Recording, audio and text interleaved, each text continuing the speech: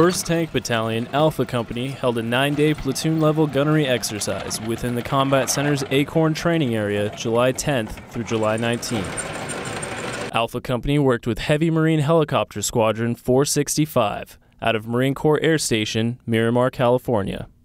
Training involved rapid ground refueling, a tactic used to refuel tanks deep in enemy territory. Alpha Company Commander Captain Christopher Upton says the exercise gave many of his Marines the rare opportunity to work with the Air Wing for the first time. The primary reason we're out here is to do platoon level gunnery, is whereby I evaluate my platoon commanders on their ability to command and control their platoons. And having the 53s come up from Miramar is a great opportunity for these guys. They brought the equivalent of 800 gallons of fuel.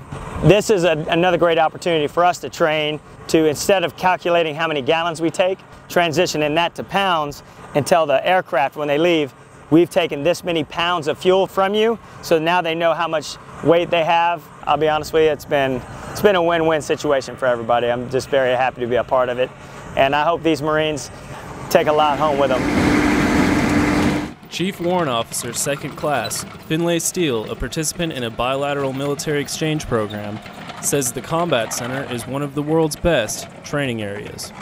The best thing about coming out here uh, from me for a professional uh, aspect is uh, one, being able to play with all of these assets in a combined arms environment, having, you know, 81 millimeter mortars, having the CBRN dudes out here, having, you know, all the tanks, uh, the support from mechanics, communications. We've even got the uh, cooks out here.